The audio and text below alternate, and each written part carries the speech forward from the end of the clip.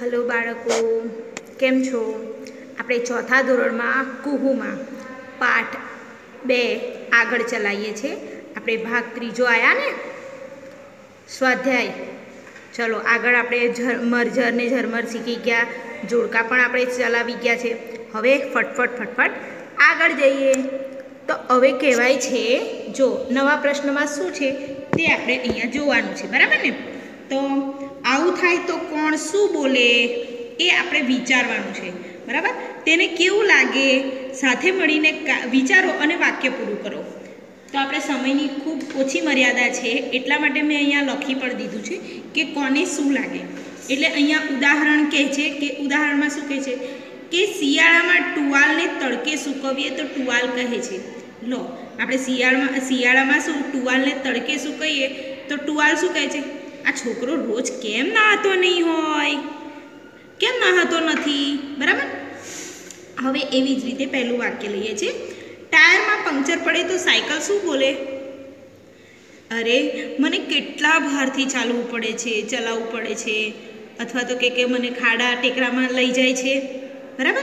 ગમે તે વાક્ય આપણે આપણી રીતે લખી શકીએ છીએ.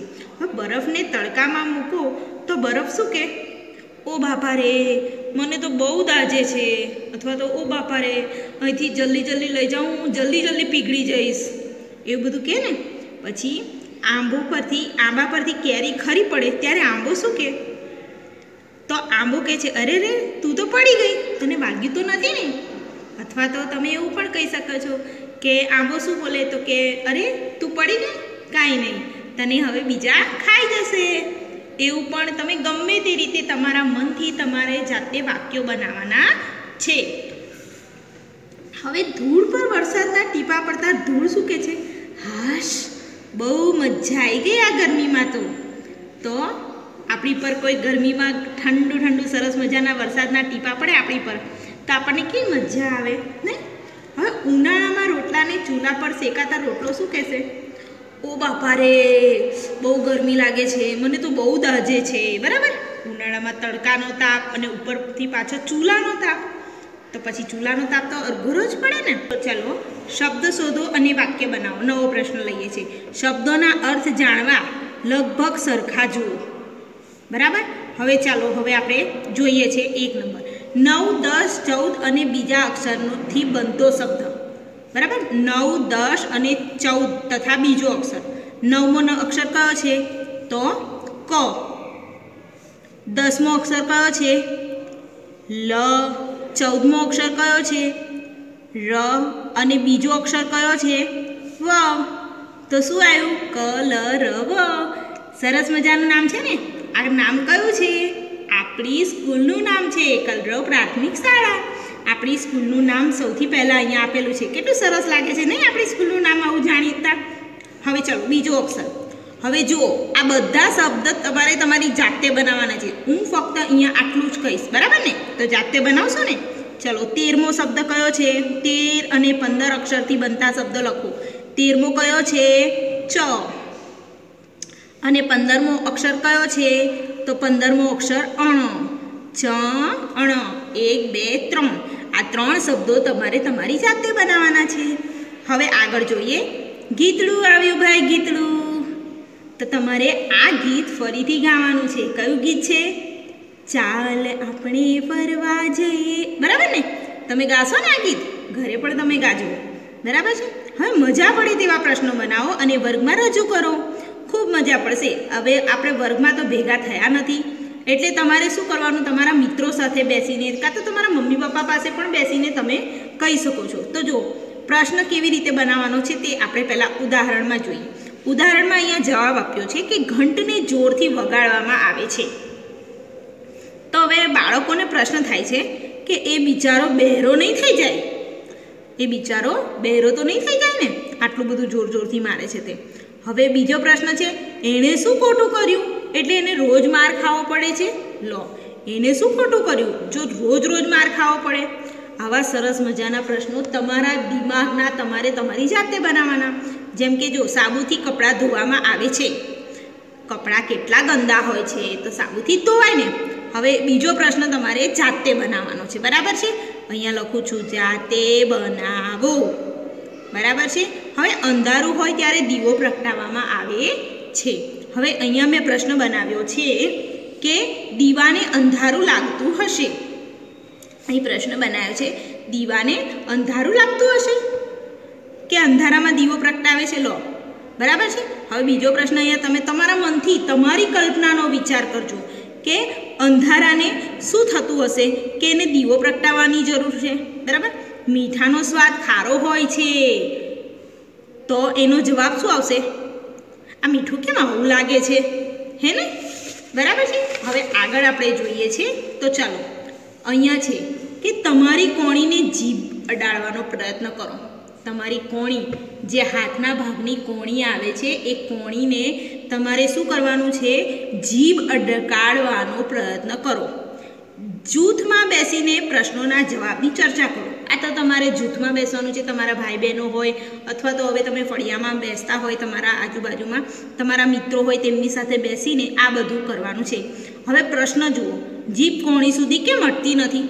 તમે જીભ અડાડવાની પ્રયત્ન કરશો તો એ જીભ કોણી સુધી અડશે નહીં. એટલે પ્રશ્ન થશે કે કેમ જીભ કોણી સુધી અડતી નથી? બરાબર છે? હવે બીજા બીજા પણ પ્રશ્ન પૂછવાના કે ઝાડ અને પક્ષીઓ વચ્ચે કેવી કેવી વાતચીતો થતી હશે? વાદળાને શરદી કેમ થતી નહીં હોય?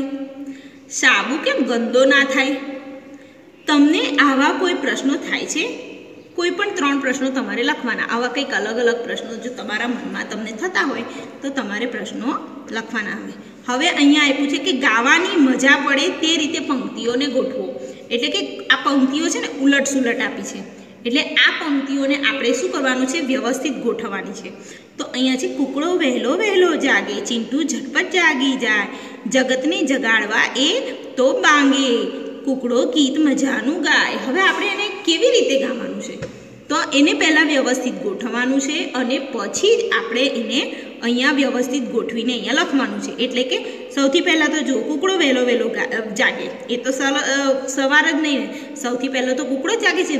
એટલે કહે છે, કુકડો વહેલો વહેલો જાગે, જગતને જગાડવા એ તો બાંગે. જગતને જગાડવા એ તો બાંગે. ચિંટુ ઝટપટ જાગી જાય, કુકડો ગીત મજાનું ગાય.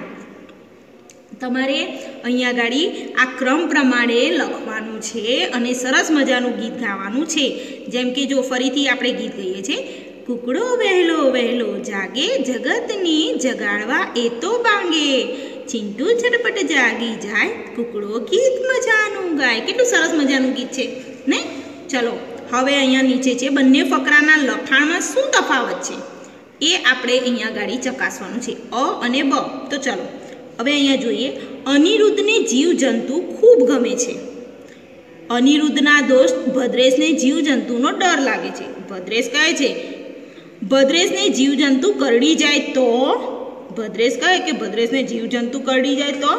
તો અનિરુદ્ધ કહે, જીવજંતુ તો કેટલા નાના નાના હોય. જીવજંતુઓને ભદ્રેશ અનિરુદ્ધની ડબ્બીમાં મૂકીને જો, ભદ્રેશને જીવજંતુ બધા ગમી જશે. હવે આ બાજુ શું છે? તો કે અનિરુદ્ધને જીવજંતુ ખૂબ ગમે છે. તેના દોસ્ત ભદ્રેશને તેનો ડર લાગે છે. તે કહે છે, તે કહે, મને તે કરડી જાય તો? અનિરુદ્ધ કહે, તે તો તેના, તે તો કેટલા નાના નાના હોય. એમને તું મારી ડબ્બીમાં મૂકીને જો, તને તો બધા જ ગમી જશે. બરાબર છે? હવે આ બે ફકરામાં તમને શું તફાવત લાગે છે? એ આપણે અહીંયા ગાડી દર્શાવવાનું છે. તો કે છે કે અ સારો લાગ્યો કે બ સારો લાગ્યો? તો આપણે સરસ કહી શકીએ છીએ કે આપણને બ સારો લાગ્યો. કારણ કે આપણને આ સરળતાથી સમજાવવામાં આવ્યો છે. હવે કે છે કે પહેલા ફકરામાં અનિરુદ્ધ નામ કેટલી વખત આવે છે? એ તમારે તમારી જાતે લખવાનું છે. પહેલા ફકરામાં અનિરુદ્ધ અનિરુદ્ધ અનિરુદ્ધ. એ તમારે ગણી ગણીને અહીંયા લખવાનું છે. અને અ કે બમાંથી કયો ફકરો સારો લાગ્યો તો આપણને બ સારો લાગ્યો છે. કારણ કે બ ફકરો આપણને સરસ રીતે સમજાઈ જાય તેવી રીતનો છે. જ્યારે અનો ફકરો ખૂબ લંબાઈથી થોડોક અટપટા જેવો લાગે છે. હવે પહેલા ફકરામાં અનિરુદ્ધ નામ કેટલી વખત આવે છે તે તમને મેં કીધું. એક, બે, ત્રણ, ચાર. બરાબર? તમારે તમારી જાતે અહીંયા ગણતરી કરીને લખવાના છે.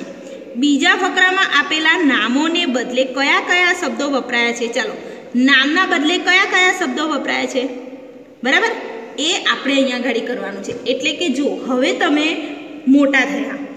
પહેલાં ધોરણથી આપણે વ્યાકરણ શીખતા આવ્યા છે. વ્યાકરણ એટલે ફક્ત અત્યાર સુધી આપણે સમાનાર્થી, વિરોધાર્થી એ બધું શીખતા આવ્યા છે. પણ હવે હવે શું આવશે?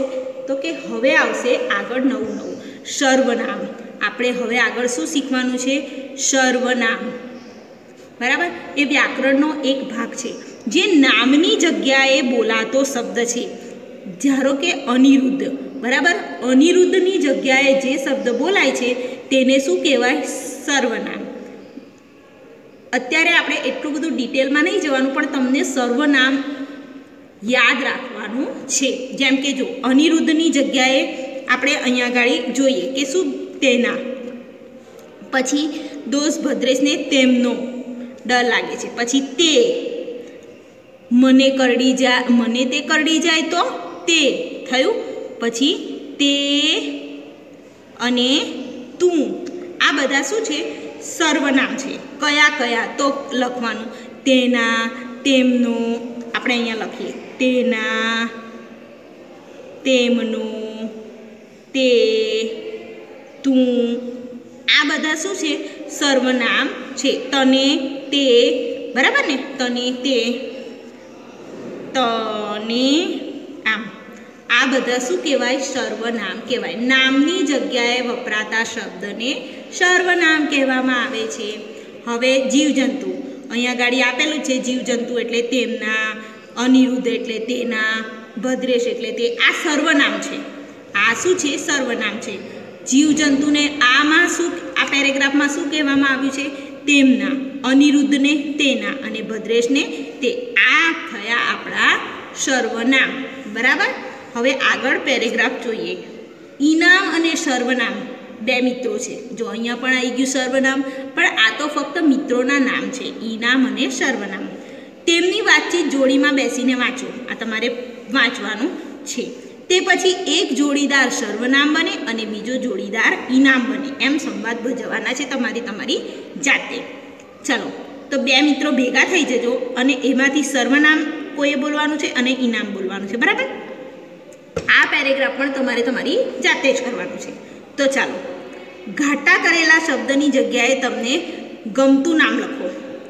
હવે તમને તમારું ગમતું નામ લખવાનું છે. પહેલાં તો લખીએ ક્રમ, વાક્ય.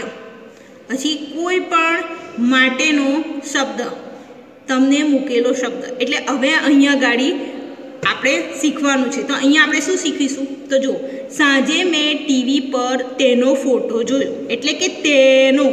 અહીંયા ગાડી તેનો એટલે સર્વનામ કહેવાય. તેનાને શું કહેવાય? તેનોને શબ્દનામ જો સર્વનામ કહેવાય. એટલે કે તેનો ફોટો જોયો એટલે તેનો એટલે કોનો ફોટો? અહીંયા તો આપ્યું નથી. પણ આપણે આપણી મનપસંદનું નામ મૂકવાનું છે. હવે આજે મેં તેમાં મસાલો નાખી ખાધો. હવે ઘાટો શબ્દ છે, એટલે શું છે? કોઈના પણ માટે વપરાયેલો શબ્દ, એટલે તેમાં. આપણે તો અહીંયા ઘડી શું લખીશું? તેમાં. એટલે હવે તેમાં એટલે શેમાં મસાલો નાખીને ખાધું? તમે કોઈ પણ મસાલો નાખી ભાતમાં પણ મસાલો નાખીને ખાઈ શકો છો. પૂરીમાં પણ તમે મસાલો નાખીને ખાઈ શકો છો, બરાબર ને? અથવા અહીંયા પૂરી અથવા ભાત હવે ચાલો, ગઈકાલે ઉર્વિલ તેના ભાઈ સાથે ફરવા ગયો.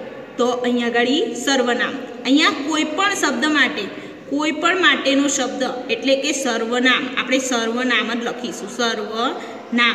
બોલવાનું તો સર્વનામ જ. તો આમાં સર્વનામ કયું છે? ગઈકાલે. તો ગઈ કાલે બરાબર? તો ગઈકાલે એટલે ગઈકાલે કયો વાર હતો? ગઈકાલે રવિવાર હતો કે સોમવાર હતો? આપણે જે પણ કહીએ તે રવિવાર અથવા તો સોમવાર. બેમાંથી ગમે તે એકવાર અહીંયા આપણે લખવાનો છે. ચાલો, અહીંયા ગાડી.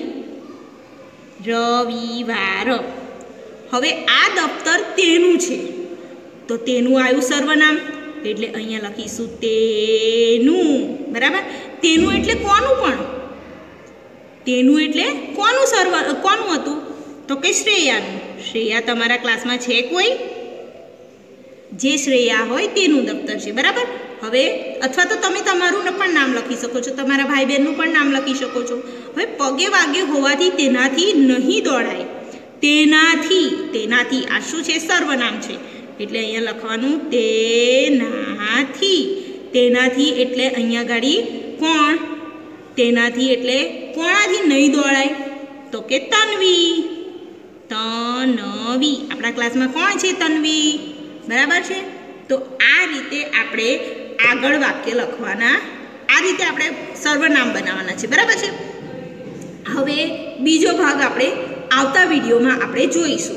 ત્યાં સુધી તમારે જેટલું આપ્યું છે એટલું બધું તમારે કરવાનું રહેશે. બરાબર ને? આ બધું હું તમને ફોટો પાડીને મોકલીશ અને તમારી ચોપડીમાં જે બધું આપેલું હશે તે પણ તમારે લખવાનું છે. હવે બજારમાં ચોપડી મળતી થઈ ગઈ હોય તો લઈ લેજો.